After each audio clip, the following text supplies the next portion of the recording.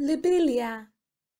Anxiolytic can be used as tincture, low dose should be consumed.